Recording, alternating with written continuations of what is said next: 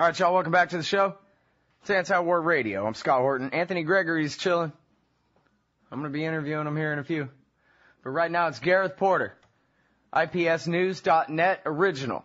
Antiwar.com slash Porter. Welcome back to the show. Gareth, how are you, man? I'm good. Thanks for having me again, Scott. Well, I'm very happy uh, to have you on the show. I'm looking your latest one at antiwar.com is Pakistan's convoy halt forces U.S. to reduce tensions. And then I see that you have a brand new one here at ipsnews.net, which will be at antiwar.com by the time anybody hears this later on in the archive format anyway. And that is report shows drone strikes based on scant evidence. Come on. They wouldn't just go around executing people for no reason, Gareth, would they? I, I think actually they would, but uh, let's let's take a look at the specifics of this drone strike campaign. You know, this is a this is a story that I rewrote a couple of times because I couldn't quite decide. You know, is the headline here that the CIA uh, operations people are actually carrying out these drone strikes? Uh, we now know on the basis of specific evidence with uh, the, the least uh, evidence that one can imagine uh, to show some link with uh, Al Qaeda or associated groups? Or is the story that uh, despite the propaganda that this is a, an effective tool to uh, disrupt Al Qaeda's terrorism against the homeland of the United States, this is actually a, a, a program that is now targeted almost entirely on those groups that are involved in the uh, supporting the war against the U.S. and NATO in, in Afghanistan. In other words, it's no longer an anti-terrorist tool at all. It's, it has to do, it's an adjunct, basically, of the U.S. war in Afghanistan. And so, you know, both of those are uh, keys to this story, and I worked them both in. I finally decided that it's the killing with scant evidence that was the primary aspect of the story, so that's what I led with. And and really, uh, th- this is a story that is keyed to a new report that was issued by something called Civic, uh, civilians uh, in uh, civilian casualties. Um, I've, I've, forgotten the full extension of the organization, but uh, it's it's uh, an organization I had not heard of before. But they have done field research, interviewing the victims of war in Pakistan, both the drone strikes campaign as well as the Pakistani military's uh, campaign against uh, the uh, Taliban, the, the uh, Pakistani Taliban uh, in the FATA region. So um, what they have done is now to uncover uh, the the fact that in a specific case, in an interview that was given by one of the victims, his house was visited by some Taliban troops who asked for lunch. And being a rather um, uh, sort of pragmatic fellow, he gave them the lunch. He didn't uh, turn them away. And the next day, guess what? His house was destroyed by a missile uh, from a drone, an unmanned uh, aerial vehicle, and uh, his house was destroyed, and his only son was killed. So it dramatically illustrates the point that I think people need to understand, which is that the drone strikes are based not on a targeting that is uh, founded on real intelligence, but on uh, the merest suggestion and inference that uh, because this house was visited by some people who they thought were uh, part of the enemy, that that it was somehow connected with uh, the Taliban or Al Qaeda or some other proscribed group. Uh, and of course, that sort of uh, principle, when applied across the board, is going to result inevitably in hundreds and hundreds of civilian dead. And well, let me stop you for a yeah. second and ask you: Is there such a thing as any Arab Afghan friends of Osama bin Laden and Ayman al-Zawahiri in Afghanistan at all? I mean, uh, General McChrystal said, nah, maybe there's a dozen or something like that. Uh, um, what's that great reporter from the Wall Street Journal? Um, I want to say Dylan Hero, but that's not the guy I'm thinking of. I interviewed a great reporter on this show. Uh, I, his name escapes me right at the moment. Anand Gopal, you mean? Yeah, yeah, yeah. Yes. Anand Gopal. And, and he said, look, there's maybe a hundred, I think he said a hundred, maybe he said two, but I think he said there's a hundred actual Al-Qaeda on both sides of the border, and most of them are in Pakistan. And this whole thing about this being about somehow Al-Qaeda and 9-11 is a bunch of crap. They're after Haqqani and, and Mullah Omar's Absolutely, friends. yes. This is, um, this is no longer about Al Qaeda at all.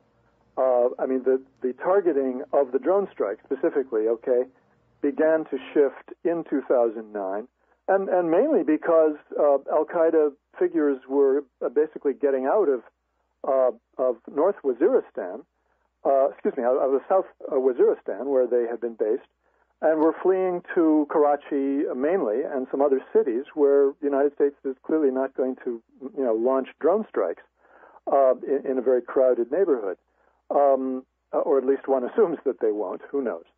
Uh, in any case, the uh, the Al Qaeda targets were obviously uh, few and far between, and they were drying up. And so, what does the CIA do? They don't say, "Well, you know, we might as well wrap this up because there aren't any targets anymore." No, they simply shift the targets to the Haqqani network, and uh, the the network, the organization run by um, Hafiz uh, Gul Bahadur, who is a uh, the head of a Taliban faction, a Pakistani Taliban faction, which is not interested in fighting the, the uh, Pakistani government, but rather supporting the insurgency in uh, Afghanistan. So all of the targets uh, in North Waziristan are essentially uh, geared to uh, fighting the U.S. and NATO troops. Uh, that is the target. The, the people who are being targeted are, are geared to fighting U.S. NATO troops in Afghanistan. This has become uh, essentially a a war, a drone war that is geared to it's, it's part of the war in Afghanistan. It has nothing to do with Al Qaeda t- uh, terrorism. Mm. Well, um, you know, it it's so funny the way these guys kind of split it up. We talked before. I guess if you dial it back a few months, uh, we talked about the different plans. Maybe even a year, we talked about the different plans. Let's let's try to split the Pakistani Taliban from the Afghan Taliban, or we'll switch the the real dead enders from those who it's just their day job, or we'll you know we'll split them up this way and that.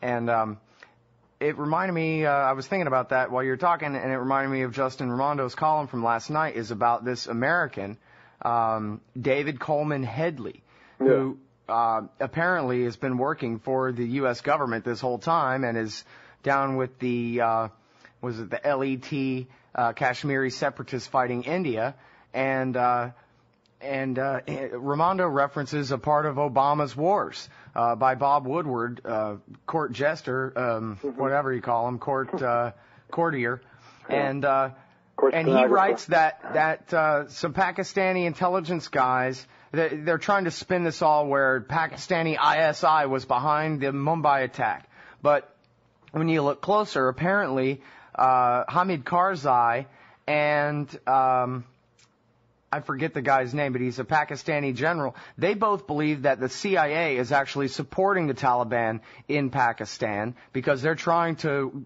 destabilize and destroy that government so they have an excuse to invade and seize those nukes. Or maybe I'm I'm kind of uh, interpreting the end of that part myself, but they're they're basically trying to make things worse by supporting the people in uh, Pakistan that they're uh, you know fighting in Afghanistan. Does yeah, that sound very, right at all? This is a very strange story. I agree that that this needs to be further uh, elucidated and um, uh, and covered by the media.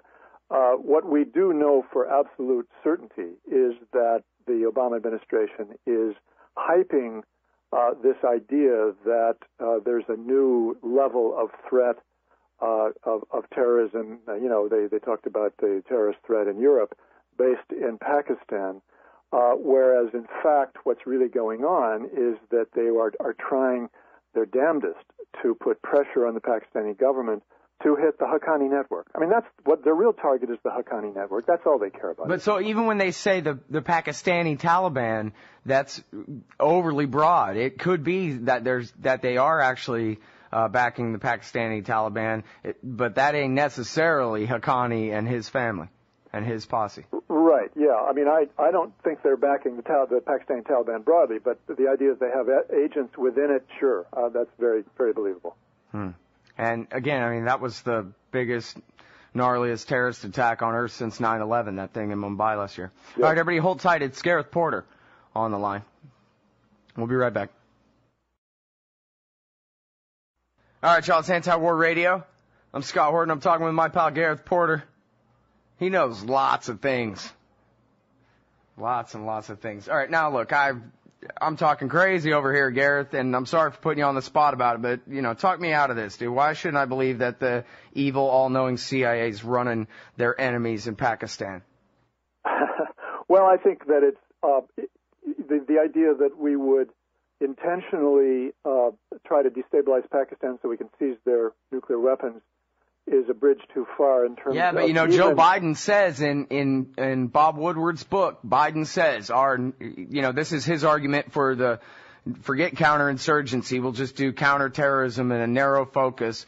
And because our first priority is killing Al Qaeda and securing Pakistan's nuclear weapons, said the vice president. Yeah, and, and I would have to just point out the the fundamental radical distinction between what is said to justify a policy on one hand and an objective that is pursued, uh, you know, for its own sake on the other. I mean, it's one thing to cite, you know, nuclear weapons in Pakistan as a reason for uh, a, you know, a rationale for a policy in, in this case in Afghanistan. It's another thing to say, yeah, we we really would be better off if we could destabilize the Pakistani government so that the, the nukes would be up for grabs, and that would give us an opportunity to then go in with our troops. Uh, believe me, there there is hardly anybody, hardly anybody in uh, the U.S. government who would uh, even begin to say anything favorable about that kind of a policy. I mean, you know, even even people who are extremely warlike are not that warlike right now. That that is um, that that is a species of insanity that I think went out with uh, uh, Feith and and um, uh, their, that crowd well, you know that guy O'Hanlon. It was back in I guess 07, three years ago. O'Hanlon wrote that thing yeah. with Robert Kagan in the New right, York but Times. Again, again, remember that O'Hanlon was simply justifying an increase in U.S. Uh, ground troops. That This was not a serious uh, proposal based on you know his being told by Army folks, yeah, we really uh, we really want to go in there with with troops. Uh, that's our uh, that's our design yeah. in the future. Right, well, okay, let me ask you this: How goes the uh, counterinsurgency strategy? I was reading that book, The Good Soldiers, by David Finkel, a few weeks, uh, a few months back, I guess now, and uh, it was about Iraq, and it was about uh, part of the story was that. Um, the lieutenant colonel had the copy of the counterinsurgency doctrine on his desk and he cared about it a lot and he read it every day and instructed all the guys out of it and all that. But by the end of the thing, it was just sitting there collecting dust and they were right. just out there going on their missions and the coin had amounted to nothing. And so I wonder, uh, now that McChrystal is gone and Petraeus is in charge, um, or more directly in charge, he already was responsible. But, um, you know, drone strikes and, and rules of engagement and these kinds of things, are they actually still trying to change entire societies over there and build no, a no, nation this state? Is, this is all out the window. We're talking now about a Potemkin war. I, I think it's time to really start using the term Potemkin war. I've been thinking about that for quite a while with regard to Afghanistan because there's so many features of that war that add up to uh, a hollow shell of a war, which is really uh, being done for the political and bureaucratic interests of those people who are insisting on continuing it, uh, not because they believe in it, not because they believe it can be done. Um, I mean, I've now spoken with uh, somebody who's back from Afghanistan who has been in touch with uh, people surrounding uh, Petraeus, people you know high on his staff, who who says that these people do not believe that this can be successful. They know perfectly well that this is a doomed enterprise. And I have to believe that uh, those people uh, have made that known to Petraeus. I think Petraeus is perfectly well aware of this. I don't think there's now anyone of any significance involved in this war who does not realize that this is a failed uh, failed project. That everything that's being done now is uh, for superficial political purposes uh, to to uh, try to make put the best face on it before they uh, have to. Yeah, and it's, it only costs the lives of little bitty children and their mothers all day, so it's not like it's a big deal or anything. That's right, and of course these people do not allow themselves to consider that factor in into their uh, into their work. This is uh, this is not part of their calculus. Of All right, now what about Jim Jones? Because I just made a Jim Jones joke about how the guy leading us on this giant path of murder suicide is named Jim Jones. And, and but then I got an email from Jason Ditz that said, "No, man, don't forget you've been out of the loop here. Jim."